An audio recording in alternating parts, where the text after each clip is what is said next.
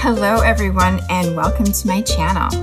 Today I'm going to show you how I easily create an accurate line sketch for my art using the grid method. If you find this video helpful, please give it a thumbs up and subscribe to my channel. I will be showing you how I get the grid on my reference image to use and how I use this reference as a guide to help me draw my line sketch faster and easier. For my soft pastel work, I typically draw the sketch on printer weight paper and later transfer it to my pastel paper. So the first thing I'm going to do is bring you into my editing software. I use Affinity, but most editing software has this same feature, and it's usually located in the same place under the View menu. I start by opening up my reference photo in my program, formatted to the size that I want my finished painting to be.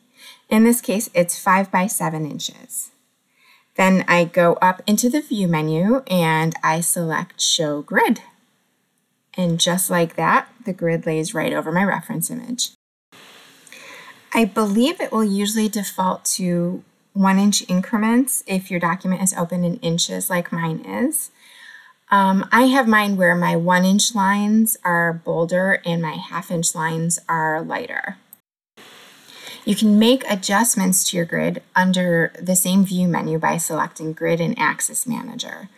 And this opens up a little box for you to make your changes to. So you can go ahead and play around with your menus in there to see what you can do. Additionally, I always leave my rulers on as well, as it just makes it so much easier. If your ruler isn't showing by default, the command to turn it on is also under the View menu it simply says show ruler. And I actually note these inch marks along the sides and bottom of my paper to make finding my place so much easier. You can even use the free MS Paint app that comes installed on most PCs, although the grid options are not quite as customizable. But you just open your image in Paint, zoom it back because it always opens too big, and then you go under the File menu to um, see your image properties just to make sure your document is open in inches. And then once again, you just go right up to your view menu, turn on your grid lines, view menu, turn on your rulers, and you're good to go. For some reason, Paint seems to do half inch grid lines, and I actually don't know how to adjust it. But I'm sure there's a lot of other free programs out there that you can use. And if you don't have any editing software or simply prefer to work from a printed image, you can either draw your grid lines right on your printed image, or you can draw or print them on a piece of acetate and lay it over your reference photo. If you don't have grid paper, you can simply use a ruler and draw on your grid lines. And I've also made my own printable grid paper. And once I figure out how to actually add the links, I will add them to the description down below for you to download it. So I've put the gridded reference image in the bottom left corner so you can follow along, but I did speed this part up because it took me about 40 minutes to draw in real time. But I kept it slow enough for you to still clearly see what I'm doing. I also left in all my mistakes and erasures so you can see the full process. Plus, I wanted you to see why I don't do the drawing directly on my pastel paper all that erasing could damage the tooth of the pastel paper. But I will plan on another video real soon showing you how I transfer my line drawing to the pastel paper.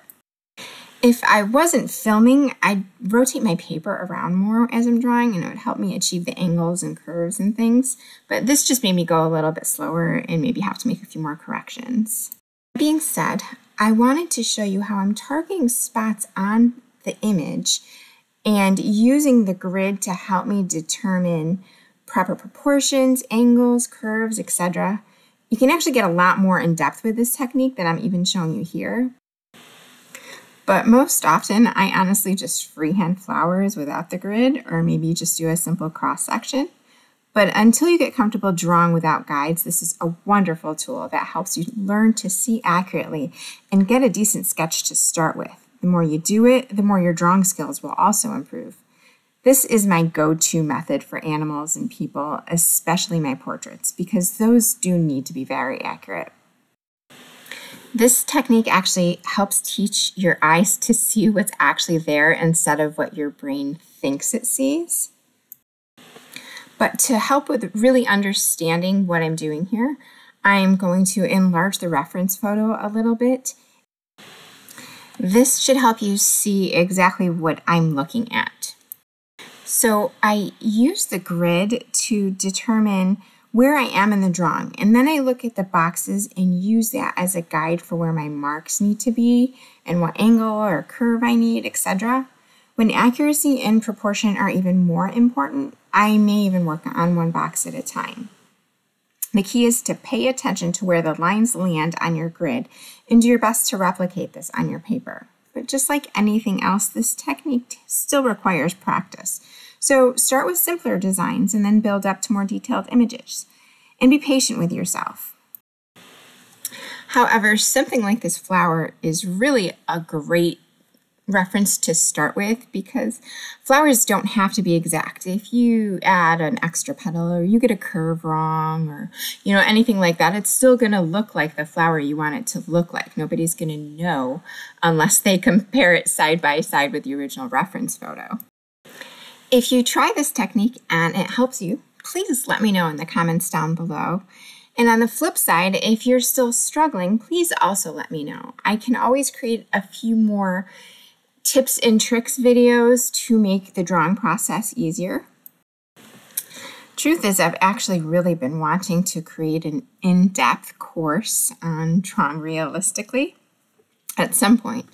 But in the meantime, I can do a few more, you know, short tips and tricks. And if any of you want to learn more about how I edit and enhance my reference images to get the best results in my art, um, leave me a comment down below and I'll create a few more videos on that. And if you have any questions about today's technique or if there's something else you want to see in the future, um, leave me a comment down below. If you found this video helpful, it would really mean a lot to me if you give it a thumbs up and subscribe to my channel. And of course, don't forget to hit the little bell icon so you get notified when I upload new videos please share this with your friends. I am working on lots more short tips like this and longer in-depth tutorials to come. I've got a bunch of soft pastel uh, tutorials and how-tos coming, and we're almost done here. Um, although I did accidentally miss the last few seconds, but there is a still photo at the end. And once again, I thank you so much for watching. I hope you plan on tuning in again, and until next time, enjoy creating.